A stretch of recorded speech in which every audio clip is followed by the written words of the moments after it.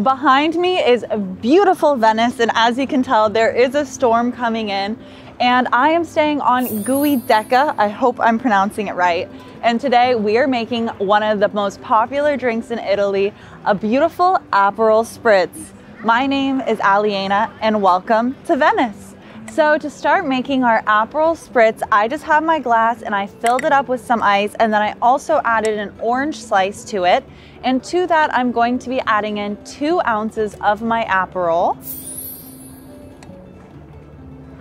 This is a very full two ounces right here. There we go. And this is what creates such a lovely color of our drink. So now I'm adding in two ounces of soda water. And last but certainly not least is our champagne, or you can use Prosecco. I like to add anywhere from three ounces, that's more traditional. But if you like a sweeter drink, you can add a little bit more, which is usually what I do because I like it to be a little bit sweeter. So I will take my Prosecco.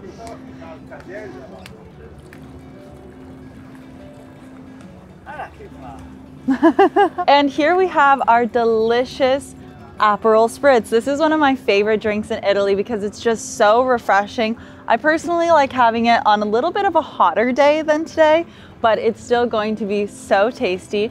And now it's my favorite time giving it a try.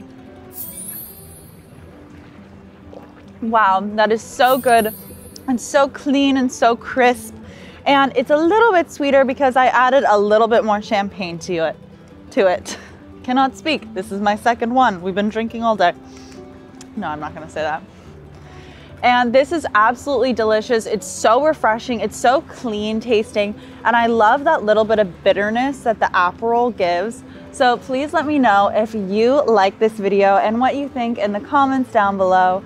Also, if you want to see more of my traveling cocktail recipes, there should be a playlist right here or over here. Thank you so much for watching and I hope to see you next week. Cheers!